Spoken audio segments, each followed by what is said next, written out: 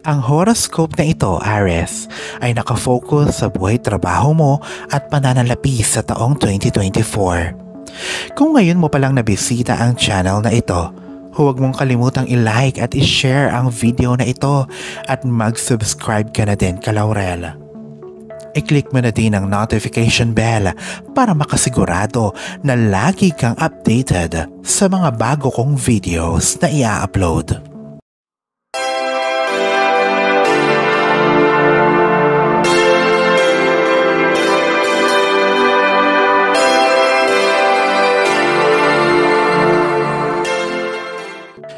Pagsikat ng araw sa isang bagong taon, ang mga individual na aris ay humahakbang sa isang pabago-bago at adventurous na landas sa larangan ng karera at profesional na mga hangarin. Pinamamahalaan ng Mars ang planeta ng enerhiya at pagmamaneho ang mga katutubo ng Ares ay kilala sa kanilang sigasig, determinasyon at pagpayag na gumawa ng mga matapang na hakbangin.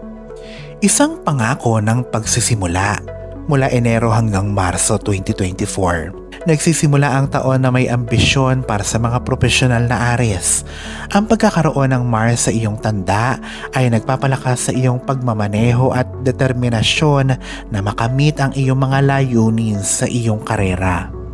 Ang panahong ito ay kanais-nais para sa pagsisimula ng mga bagong proyekto, paghahanap ng mga tungkulin sa pagiging leader o pagsisimula sa mga negosyo. Ang iyong natural na diskarte sa buhay ay nakakakuha ng atensyon ng mga mas nakakataas sa iyo at kasamahan na nagpoposisyon sa iyo bilang isang maimpluwensyang tao sa loob ng lugar ng trabaho mo. Ang pagkakahanay ng Jupiter sa bahay ng Pisces mula Enero hanggang Mayo ay nagbibigay ng pakiramdam ng paglawak at paglago sa iyong mga profesional na pagsisikap. Ang mga pagkakataon para sa pagsulong, pagpapaunlad ng kasanayan at pagpapalawak ng iyong mga kaisipan at kaalaman ay masagana ngayon maaaring makita mo ang iyong sarili na tumutungo sa mga proyektong naaayon sa iyong pangmatagalang mga adhikain at nagdudulot ng isang pakiramdam ng katuparan. Paggamit ng iyong inobasyon at pagkamalikhain mula Abril hanggang Hunyo 2024 Patuloy na tinatanggap ng mga profesional sa ilalim ng zodiac sign na Aries ang mga inobasyon at mga ideya sa isip. Ang pagpasok ng Uranus sa bahay ng Taurus ay nagdudulot ng pagkamalikhain at isang pagnanais na hamunin ng mga tradisyonal na kaugalian sa iyong karera na baguhin o gawing makabago ang mga ito. Hinihikayat ka ng panahong ito na tuklasin ang hindi kinaugaliang mga diskarte at tanggapin ang pagbabago bilang isang pangunahing kailangan sa paglago. Ang solar eclipse sa Gemini sa unang bahagi ng Hunyo ay nagmamarka ng isang makabuluhang punto ng pagbabago na nag-uudyok sa iyo na suriin muli ang iyong mga kasanayan sa komunikasyon at kung gaano ka kaepektibong na ihahatid ang iyong mga ideya sa mga kasamahan at nakatataas. Hinihikayat ka ng panahong ito na suriing mabuti ang iyong mensahe at linangin ang isang mapanghikayat na presensya na naguutos ng atensyon at panggalang.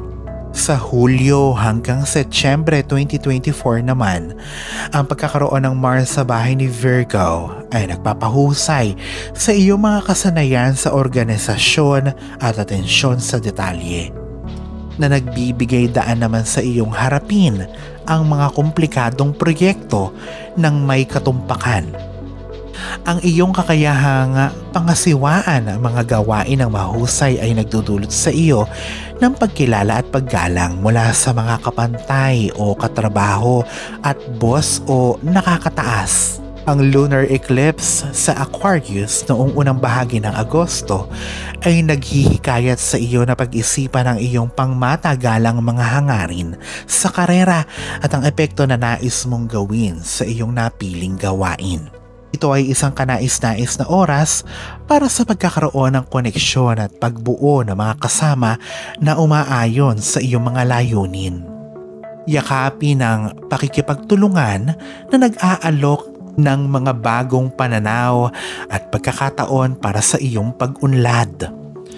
Pagsasaayos ng relasyon mula Oktubre hanggang Disyembre 2024.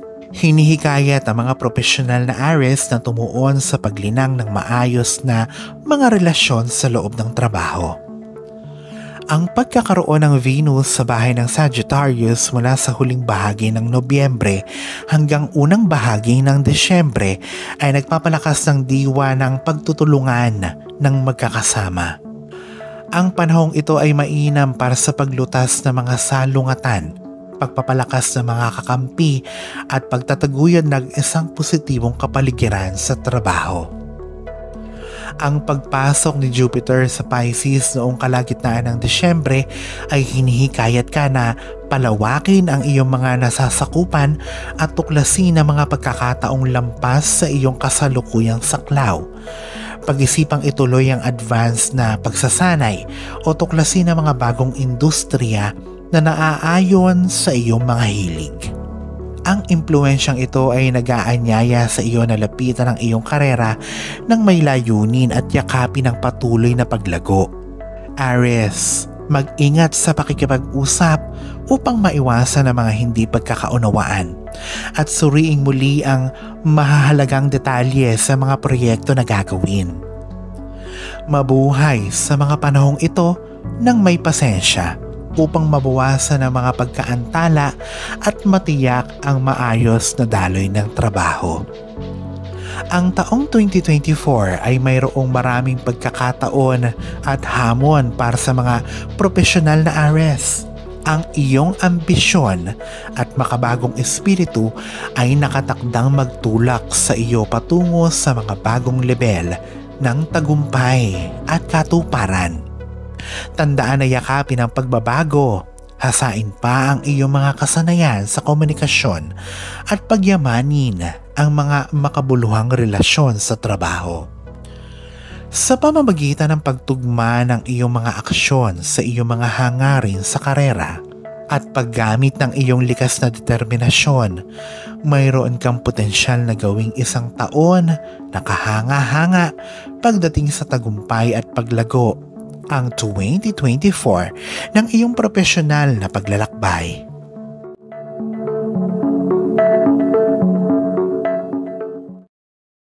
Alalahanin na sa poong may kapal pa din, nagmumula ang lahat ng pagpapala, ang kasipagan at ang kabutihan sa ating kapwa kasabay ng buo mong pananalig sa may kapal ang siya pa rin na dapat ay manaig.